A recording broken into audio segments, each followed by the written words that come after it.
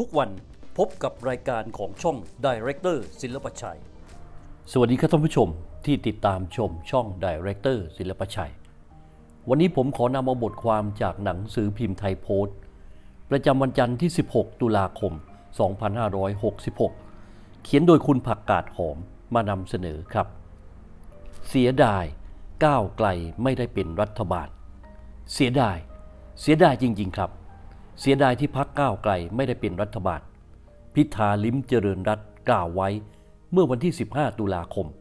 ระหว่างลงพื้นที่จังหวัดภูเก็ต รับฟังภาพรวมการบริหารจัดการขยะ น้ำเสียและสิ่งปฏิกูล ที่จริงมีคนเยอะแยะครับที่เสียดายพิธาไม่ได้เป็นนายกรัฐมนตรี ฉะนั้นการลงพื้นที่จังหวัดต่างๆ ของพิธาจึงมีคำว่าเสียดายเต็มไปหมด แต่ ก่อนที่จะเสียดาย ต้องแยกแยะพฤติกรรม งาน ความรับผิดชอบ และหน้าที่ให้ออกเสียก่อน ไม่งั้นจะติดลมเสียดายกลายเป็นโรคซึมเศร้าเอาง่ายๆ ภูเก็ตมีสอสอสามคน ก้าวไกลยกจังหวัด นับเป็นเซอร์ไพรส์การเมือง ฉะนั้นการที่พรรคก้าวไกลจะสร้างเซอร์ไพรส์การเมือง ซ้ำแล้วซ้ำเล่าที่ภูเก็ตก็ไม่ใช่เรื่องยาก ปัญหาพื้นฐานทุกจังหวัดมีคล้ายๆกันนั่นคือ การบริหารจัดการขยะ น้ำเสียและสิ่งปฏิกูล ที่แย่พอๆกัน ที่ผ่านมาไม่ว่ารัฐบาลไหนสอสอพักไหน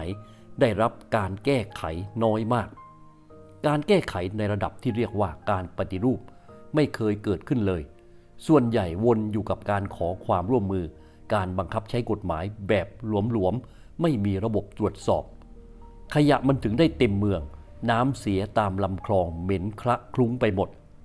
ปัญหาตำตานี้เกิดขึ้นในเขตเมืองทั่วประเทศ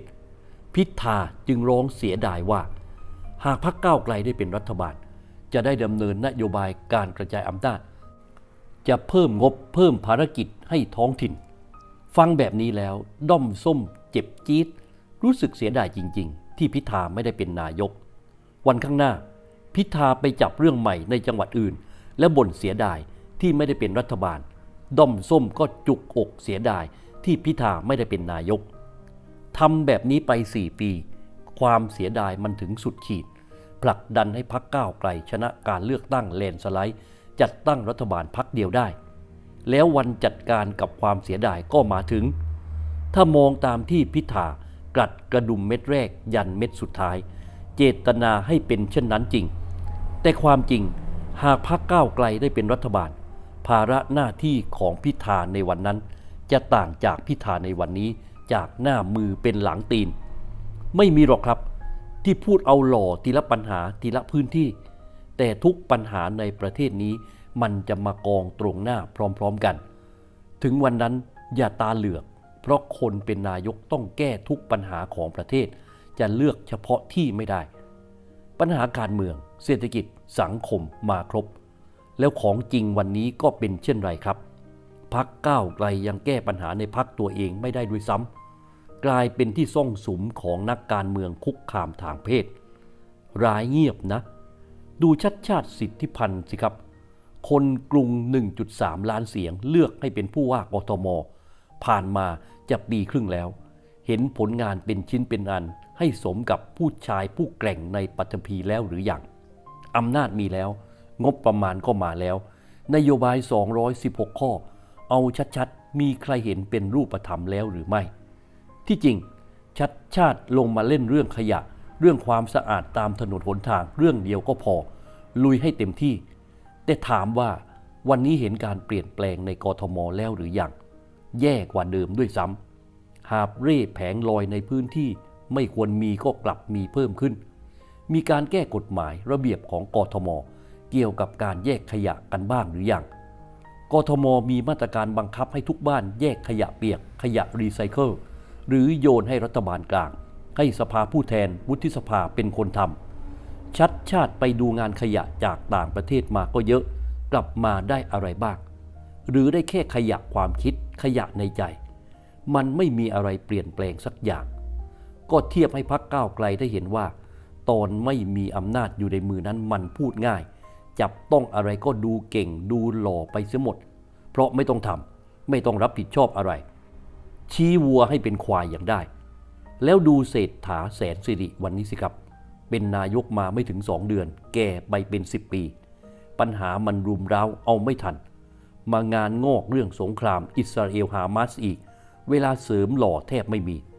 เรื่องแจกเงินดิจิตอลก็นับถอยหลังลูกผีลูกคน นี่ขนาดไม่มีปัญหาความขัดแย้งทางการเมืองมาขั้นเวลานะครับ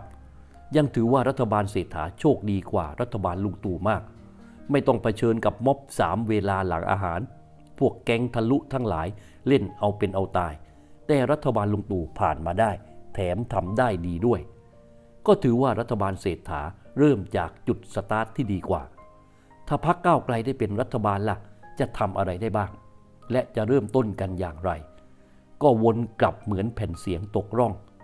ตอนหาเสียงพักก้าวไกลจะเน้นนโยบายสำคัญเร่งด่วนคือ แก้ม .112 ทันทีที่เข้าบริหารประเทศ รัฐบาลจะเสนอกฎหมายแก้ม .112 เข้าสภา สภาผู้แทนราษฎรโดยเสียงข้างมากของพรรคก้าวไกล จะผ่านกฎหมายฉบับนี้ ถึงวันนั้นเรามีสวชุดใหม่แล้ว ซึ่งมาจากการสรรหา สวชุดใหม่จะเอาตามรัฐบาลก้าวไกลหรือไม่ แล้วประชาชนทั่วไปจะรู้สึกอย่างไร ที่พักก้าวไกลเดินหน้าแก้ม .112 โดยไม่ฟังเสียงคัดค้าน คงไม่ต้องพูดซ้ำว่า การแก้ม .112 ของพรรคก้าวไกลจะนำไปสู่อะไร แต่สิ่งที่จะนำมาสู่รัฐบาลก้าวไกล ระหว่างการแก้ไขม .112 คือความขัดแย้งครั้งใหญ่ของประชาชนสองฝ่ายในประเทศไทย ใหญ่แค่ไหน ใหญ่กว่าเมื่อครั้งม็อบเหลืองม็อบแดงม็อบกปปส หรือแม้กระทั่งม็อบสามนิ้ว เมื่อถึงวันที่พักก้าวไกลได้เป็นรัฐบาลจริง วันนั้นอาจมีเสียงบ่นเสียดายอีกครั้ง เสียดายที่พักก้าวไกลได้เป็นรัฐบาล แต่ไม่รู้จักใช้อำนาจ ศิลปชัยเดลี่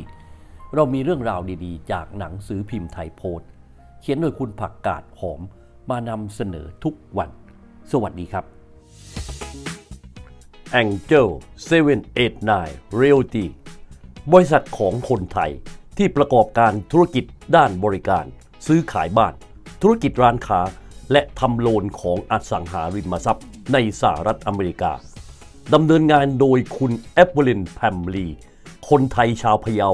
ซึ่งไปประสบความสำเร็จในอเมริกา ประสงค์จะให้เราบริการหรือช่วยเหลือในการจะซื้อบ้าน ซื้ออสังหาริมทรัพย์ เราเป็นคนไทยที่ไม่ลืมแผ่นดินเกิด และยินดีจะช่วยเหลือดูแล หรือให้คำปรึกษากับทุกคนในทุกๆเรื่องที่ท่านต้องการอยากจะให้เราทำให้ในสหรัฐอเมริกา สนใจติดต่อโดยตรงที่คุณแอปเปิลินแพมลีตามหมายเลขโทรศัพท์ อีเมลข้างบนนี้ เรายินดีดูแลทุกท่านเสมือนเป็นครอบครัวของเรา